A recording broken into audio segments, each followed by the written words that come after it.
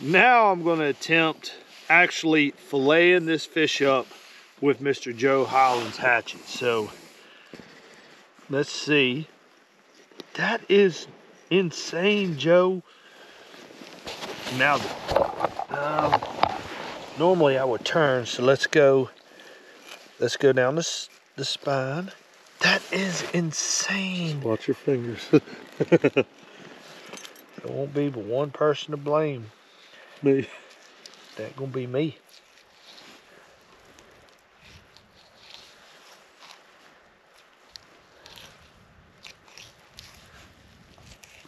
Look at that talent.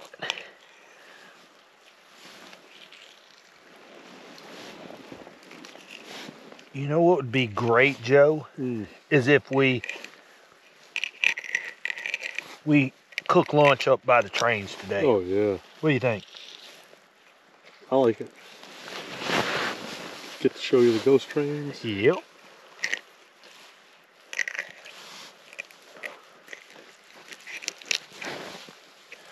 Hidden the bones. Mm-hmm. Just cutting down through the ribs. Oh, you got that thing tight too. Yeah. No meat on it at all.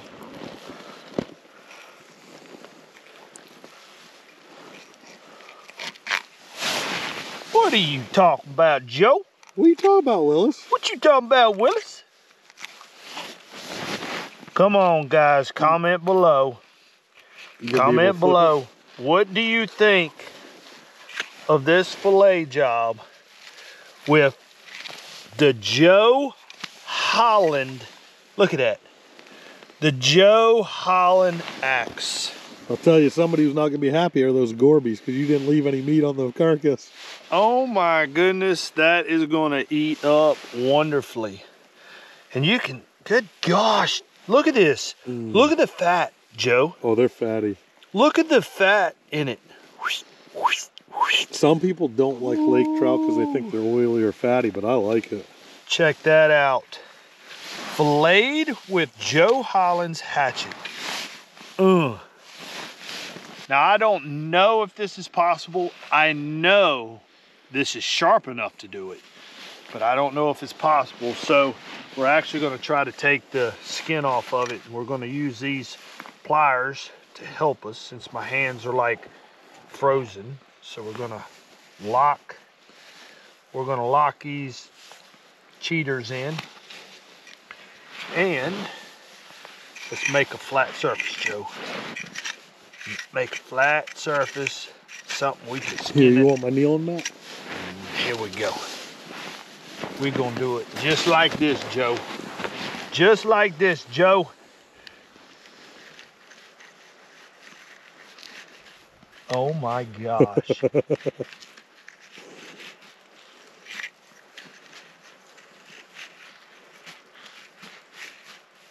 oh my gosh. Joe, you ought to go into sharpening people's I do. Everybody in town brings their axes and knives over. I'm gonna tell you this right now. If I lived near you, you would have. Oh, I got in too big of a hurry.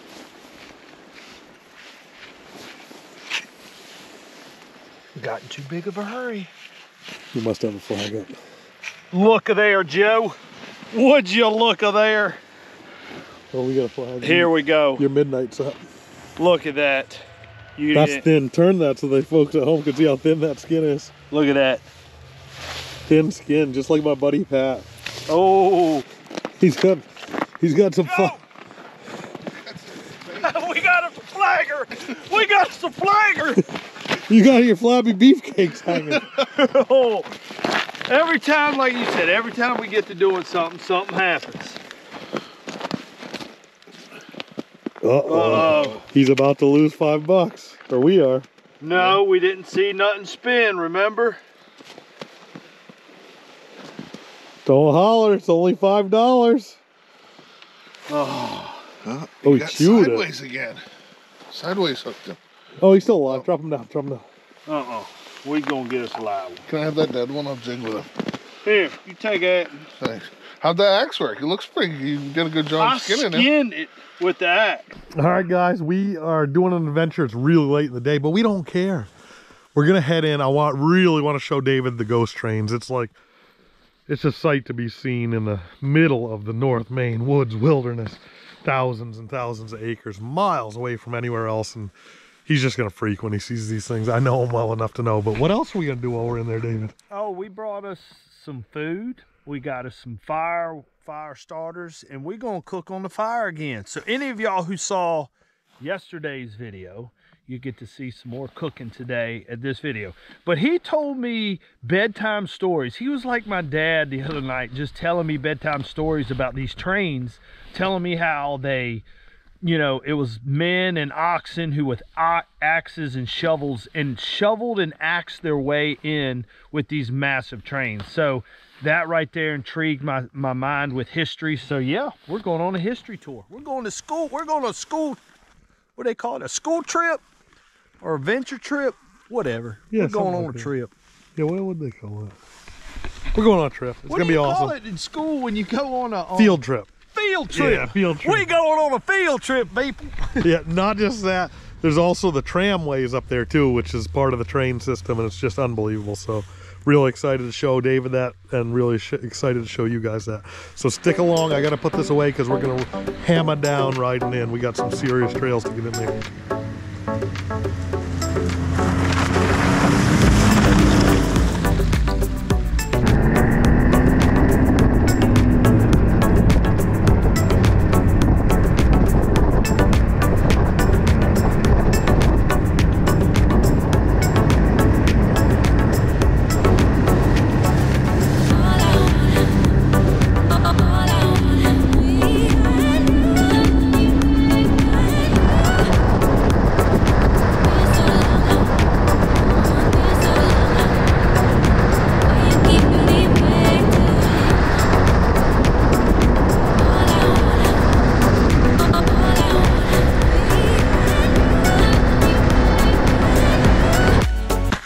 Right, guys, we're here to one of the engines. There's actually two engines.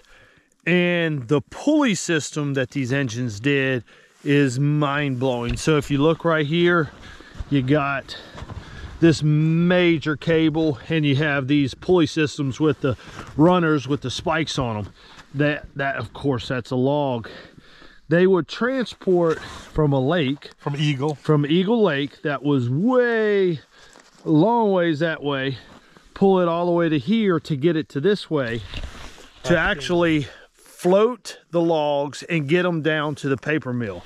So this was actually built in in the fall of 1902 by Fred Dow and it was a steam powered tramway to move the logs and it's unbelievable. It's got a 6,000 foot cable and these guys were way ahead of their time back in the day.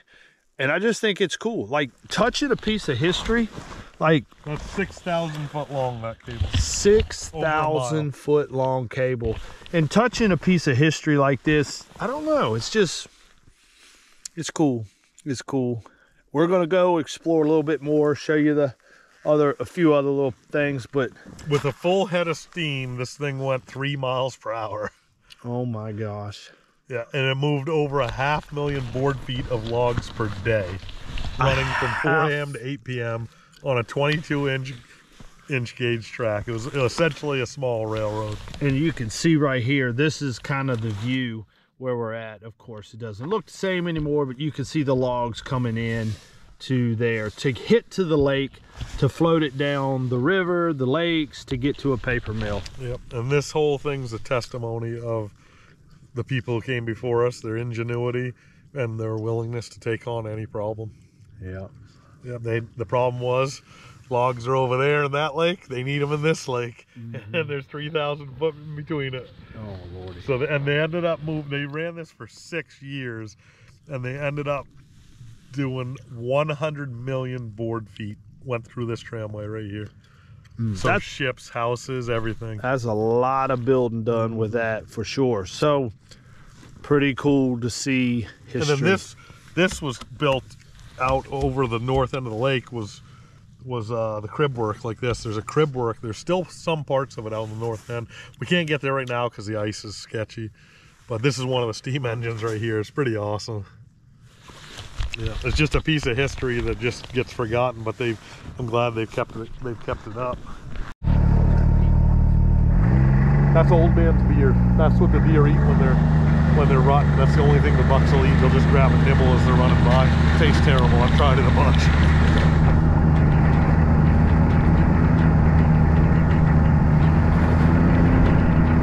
So see this raised ground on your left? That's where the tramway. That's where the tramway was. A million foot of board board foot came across that, and there's still like cable and track on that ground right there from 1902 to 1908. But that's it. That's the tramway right next to us. And the crib work that ran across the north end of the lake was for these trains. Wait till you see these trains. I mean, because you know where we are now. You, if you saw this on TV, you wouldn't appreciate it as much. But now you know how far we are from civilization. 100 miles from civilization, dude. In the wilderness. Just that steam-powered engine is amazing behind us. They brought that in by boat in the 1900s by steamboat, and then paddled and had horses to get it to here. All right, buddy. This is exciting.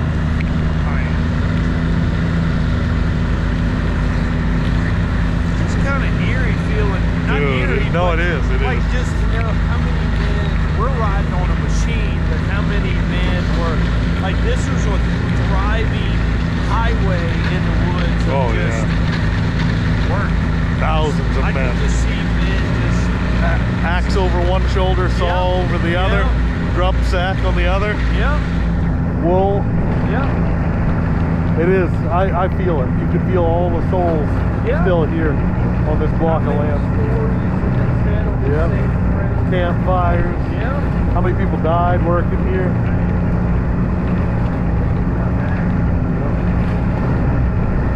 Horse teams, it's oxen, it's, it's awesome. We're getting closer, I promise you.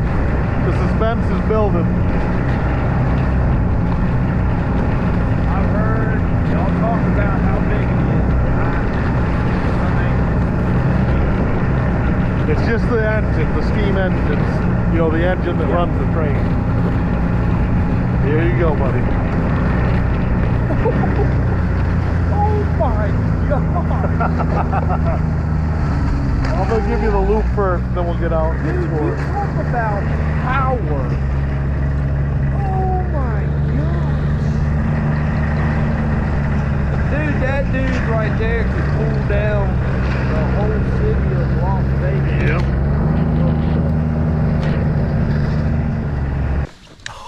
When you step, I'm on a vehicle, and when you step and you're looking up at an engine, that that's pretty impressive. You gotta stand next to some of these wheels, like, and you're still standing on 10 inches of snow. 1926, 1927, King LaCroix brought these in from Lac Frontier, And I'm- Quebec. I'm standing. Whoa! I'm standing on about two foot of snow, and I mean I'm not even up to where I need to be yet. Oh my God. History, right here. History. That's cool. Like it? Oh, love it. I knew you would. Imagine being the man. I know.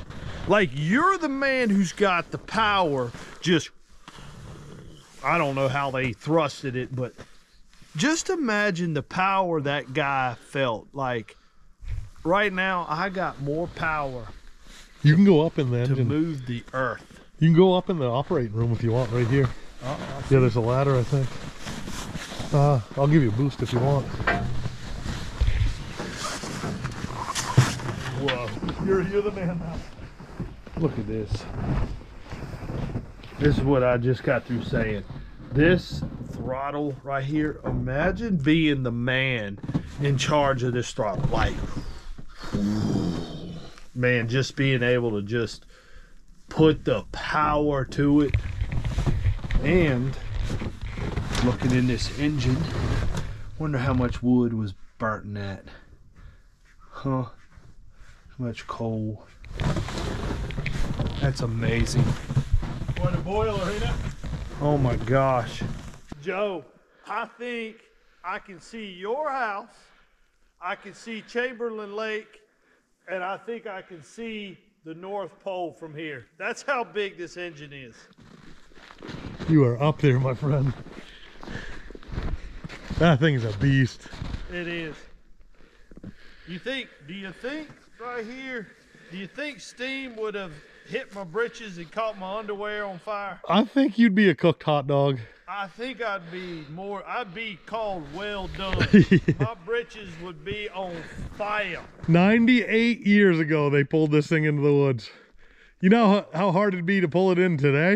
Dude, I try to move like a little sled or something, and they they brought it in with axes, shovels, and ox.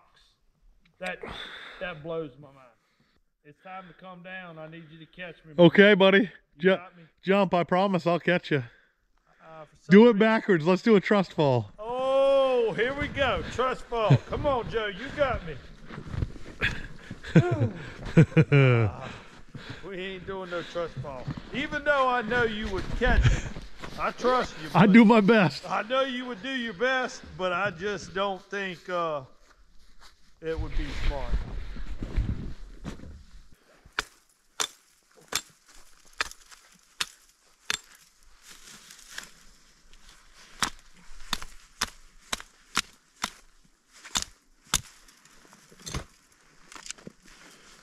Here we go. We are here. It's been a long day.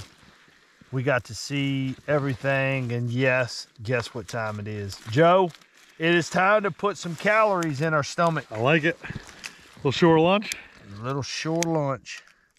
We got to start the oven here. Good gosh, that stuff starts quick. Joe was telling me how quick birch starts. Birch bark starts, but not that I didn't believe you, Joe, but it's just wow. Got some good natural oils.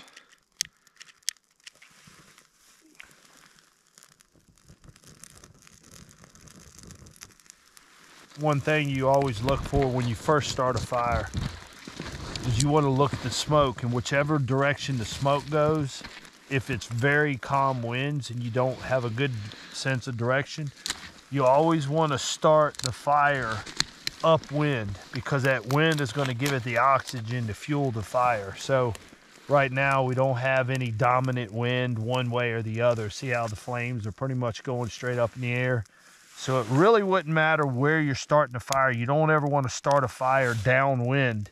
If you start one downwind, the chances of that fire taking off is going to be low. So, and another example would be blowing into it. So, fuel, uh, fire needs fuel. Fuel is oxygen. See how that stokes the fire up? So always go upwind when you start a fire. Bear. Bear! There's a bear there! It's a Sam Squatch. Snap, crackle, pop.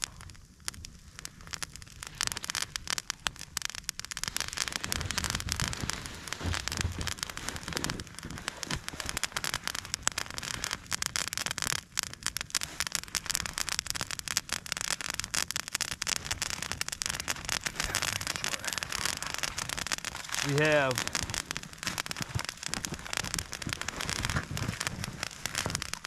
I'm just going to be getting it warm a little bit. Oh, what are we doing? Tacos? Yeah, Nice. Yeah. I did not know that. we are You doing the man.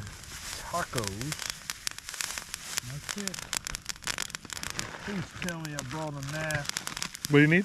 A knife. Not to eat. I don't know where my list is. Might be in my other.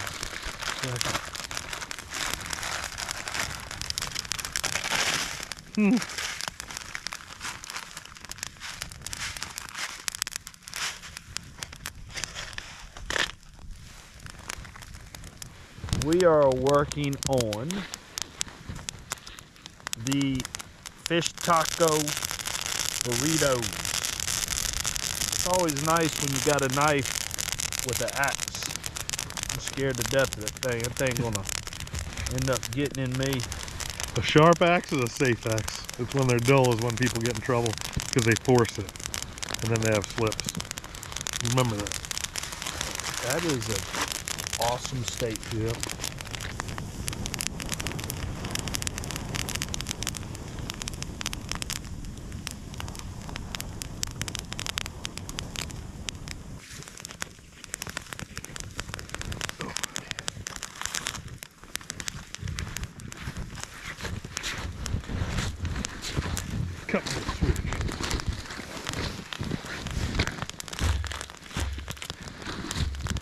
One thing you're doing when you are cooking these uh, aluminum foil ovens is what I call them.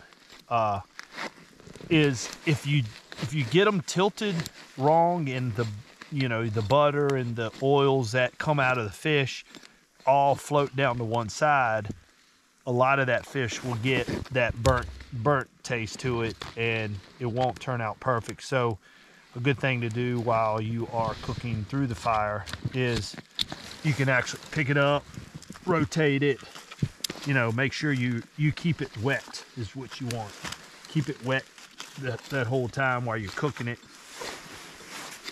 That way she she'll be good. Won't have any burnt taste to it.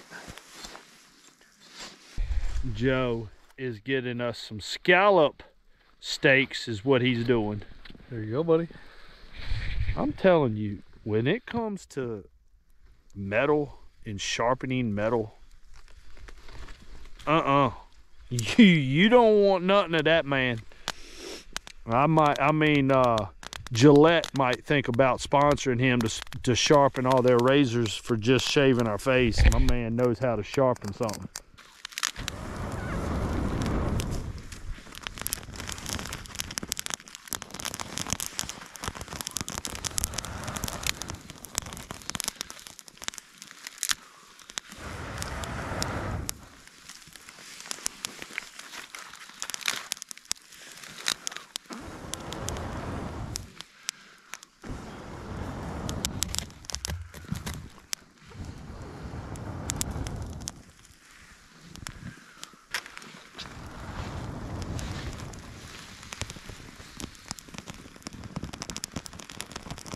Nice.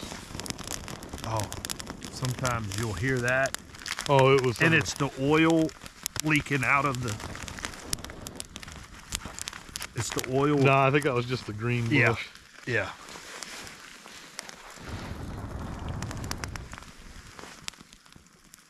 What do you think of them trains, Bob? dude that's impressive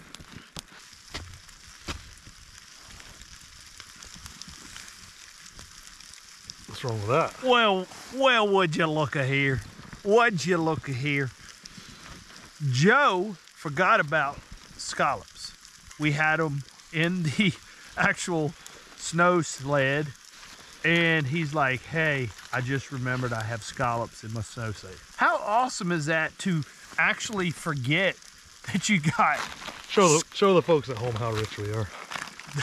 We are rich. This is pure scallops that were living in the ocean. What three days? What do you, uh, two days. two days ago. Doesn't matter. Two or three days ago. And one of his great friends, who's my great friend now, and I'm telling you, thank you as you're watching this video. Kyle, Brandon, Mark. Kyle Slim. Brandon, I've got to hang out with some of the coolest guys ever here since meeting Joe, meeting good friends. This trip has been an in- incredible trip. But yes, we're getting ready. Oh, look at the fat coming off, dripping off of that. Oh my gosh. Is it looking good? Oh, it is looking phenomenal. Look at the fat dripping off Oh. of that bad boy. I just want to stick my tongue underneath there and go get all that fat. Oh my gosh. These might be the tastiest scallops you've ever had.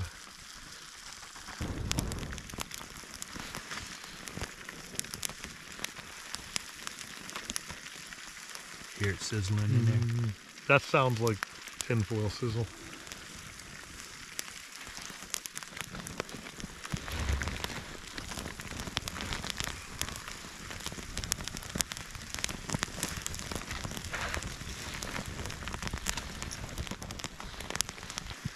Don't let me forget that bag. I can tell you, you Joe just at, set the scallops down in the snow and said, don't let me forget that bag.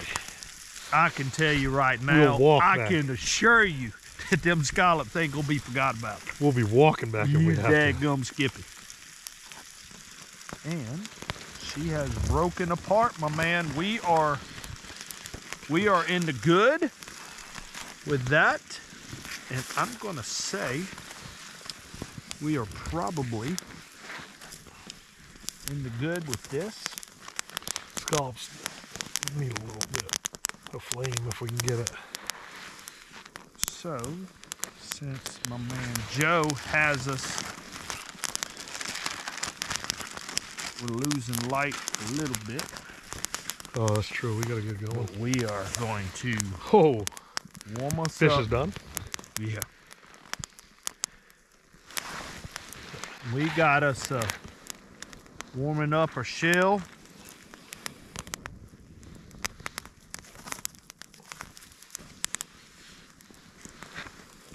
Give us give our shell a little smoke flavor. A little bit of fire flavor.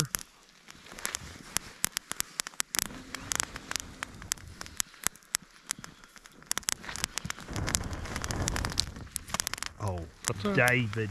No, that's perfectly fine. All right, grab that up. Won't you prop that? Grab that up. All right, here come taco number one. So, what I like to do, we can't go wrong with a little bit of cilantro. We're gonna start off with a little bit of cilantro, okay? And we're gonna take some of this secret sauce and just do one little bead straight down through the middle. We're gonna get us a little bit of fire roasted salsa.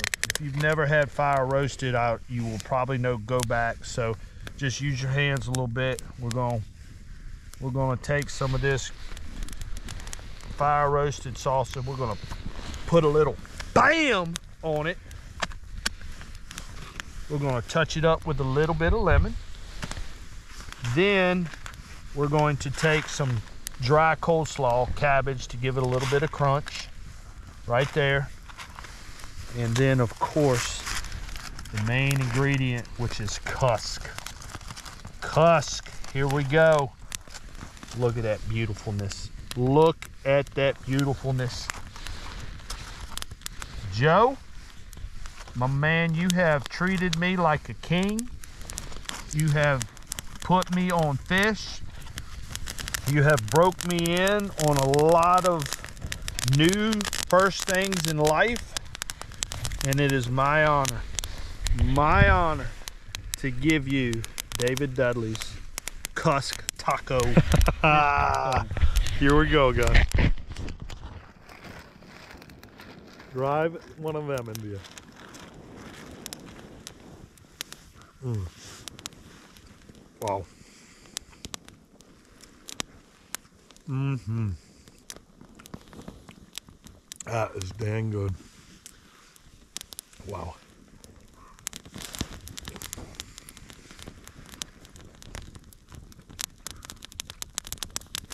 Holy cow, that's good. I don't know if you guys can see smoking. Mm.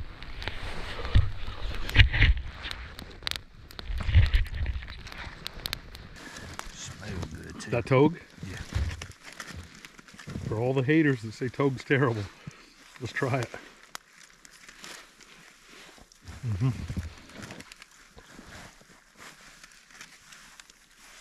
I would eat the south end of a northbound togue any day of the week. joe got it Thanking. That's a beast. That's a beast of a burrito for Hito. A David Ito. A Dudley Ito. A Dudleyito. mm-hmm Mmm. Oh, good that was awesome. Thank you. Mm. I, Oh, dessert, David. Dessert. What's for dessert, buddy? Fresh. Joe, Joe, Joe, Gill. Joe. I don't. I, I really don't think you should eat that. I know, agree. I, I don't. I agree. I just. but I'm gonna. I'll be the experiment guy. Yeah. If if I eat all of these and I don't get sick tonight, you can cook, good you, good idea. you can cook your own. So You- let me know if they're terrible. I'm gonna start. You know. Let me know if they're too hot. You know. Eating one of Oh these wow. might even be better than the Big O. Holy cow. Got that smoke. Mm. We started off with smoke Yeah. and ended it up in the What a combo. the butter sauce. Good golly, Miss Molly. Wow. So tender too. Those are big scallops. Joe, I don't know if I can thank you enough. this trip, truly, I got goosebumps underneath my arms. I don't think this trip is going in my memory bank, something I'm not going to forget.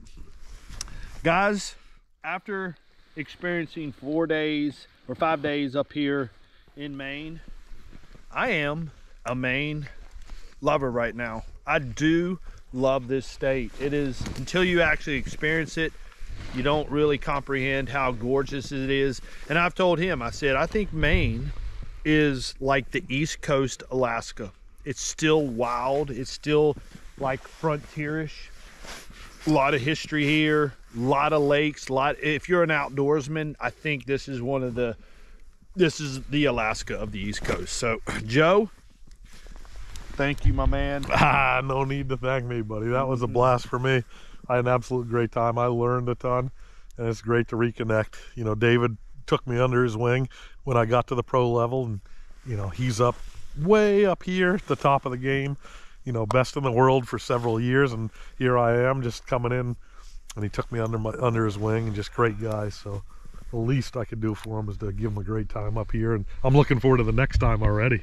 I am not looking forward to my flight tomorrow. I'm, I'm not kidding you. I I wish I could stay up here more days with you.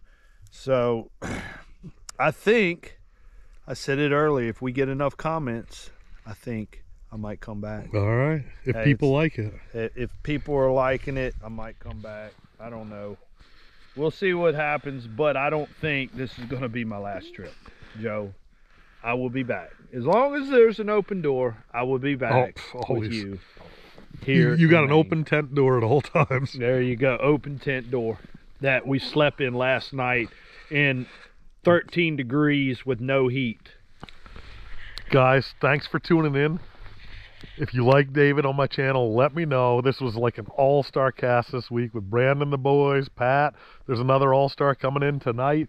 And of course, the MVP right here, Mr. David Dudley. We'll get him back on again. Thanks again for watching, guys. I've had a blast. I hope you had a blast. We got like one more half day with David here, and I might end up staying here another day or two. I don't know. I don't even know if there's ice at home, so where am I going to go? Exactly.